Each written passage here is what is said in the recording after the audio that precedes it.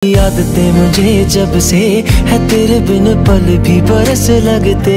बुलावे तुझे यार, आज मेरी गलियाँ बसाऊं तेरे संग, मैं अलग दुनिया। जो होवे तू दास मुझे देखे हंस दे।